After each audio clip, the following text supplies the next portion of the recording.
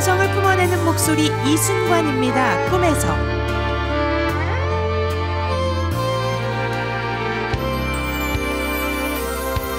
그리운 그대 어제